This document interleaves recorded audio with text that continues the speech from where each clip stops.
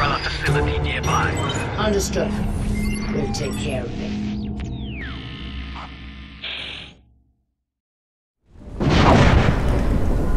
Why does the dead factory still have power?